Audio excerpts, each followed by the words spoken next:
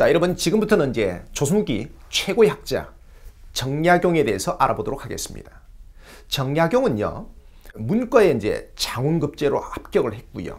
그다음 이제 정조의 남자라고 불릴 정도로 어 이제 정조 제2기간에 어 임금의 어떤 깊은 총애를 받았습니다. 어 사실 정조가 어 이제 즉위 직후에 만든 게 이제 규장각이라고 하는 연구소, 학문 연구소가 있잖아요. 어 정약용도 여기에서 어 이제 연구를 합니다. 어 이제 정조 임금께서 아버지 사도세자를 위해서 수원에다가 화성을 건설을 합니다. 근데 이 화성을 사실 당시 기술로 어, 건설을 한, 하면 한 십수년, 거의 한 20년 가까이 걸리는 그런 대공사였습니다. 하지만 정약용은 어, 정조 임금을 도와서 거중기라고 하죠. 이게 이런 거중기가 있습니다. 물론 어, 서양의 어떤 기기도설이라고 하는 책을 참고를 해서 어, 이걸 만든 거죠. 그래서 이제 이걸 통해서 요 거중기가 무거운 돌을 들어 올리고 옮기고 이런 역할을 하는 과학기구거든요. 이걸 고안을 해서 화성을 건설하는 비용을 확 줄이고 그다음 이제 공사 기간을 2년 반으로 이제 확 줄였죠. 자, 그다음에 이제 정조께서 임금께서 어, 아버지 사도세자가 있는 이 수원에 능행 어, 이제 아버지의 묘소를 참배를 하러 갑니다. 근데 이제 문제는 한강을 건너는 거죠. 어, 일국의 임금이 어, 당시 이제 큰 배가 없으니까 한강을 건너기 위해서 이제 작은 배로 옮겨 타야 되는데 굉장히 위험하죠.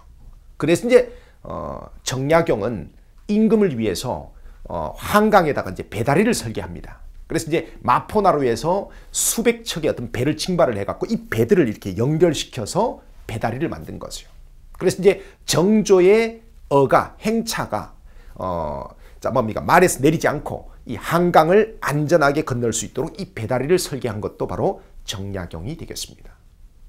자 근데 사실 정조 제2기간에 이렇게 승승장구하던 이 정약용에게 시련이 닥칩니다.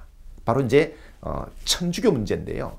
사실 어, 정약용과 같은 이런 남인계 학자들이 어, 서학 천주교에 이제 많은 관심을 보입니다. 일부는 이걸 신앙적으로 믿기도 했죠. 이것 때문에 이제 정약용이 관직에서 쫓겨나기도 하는데요.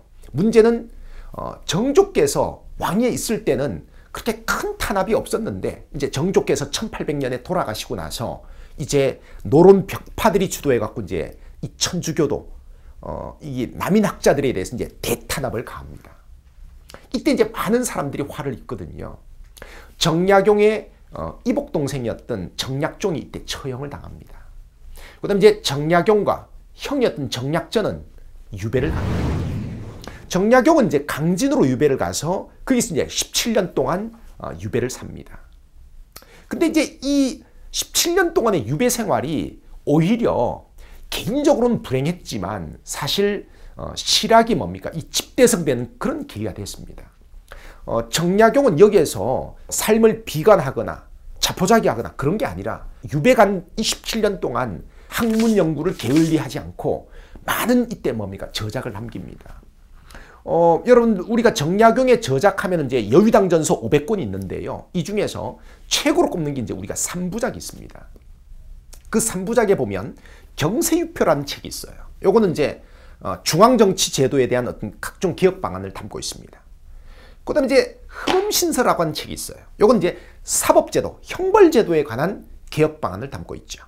또 목민심서라고 하는 책이 있어요.